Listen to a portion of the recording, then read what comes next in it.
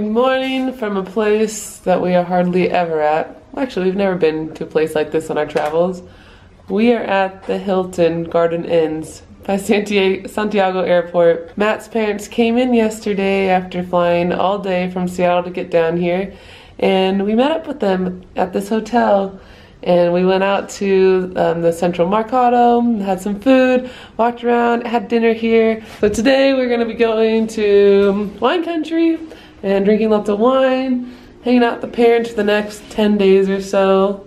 It's gonna be very different from our traveling, but still it's gonna be so much fun to do things that we wouldn't do on our own. Life's good. At our first winery. It's like 11.15 in the morning, and we're starting the day off with some wine.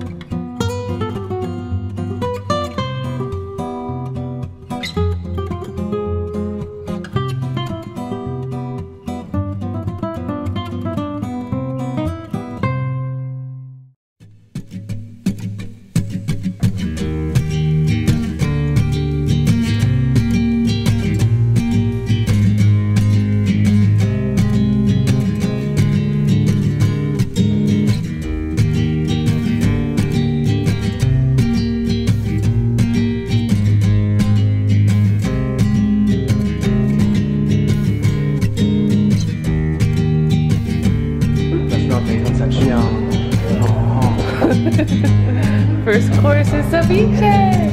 One, two, three. Ah.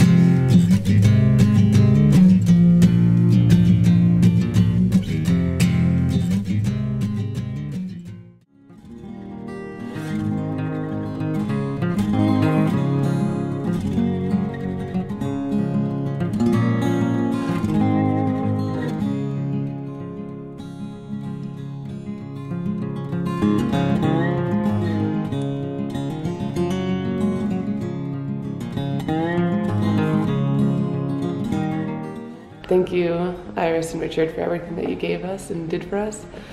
And now we are in Santiago and we were thinking, should we go south? Should we go to Patagonia?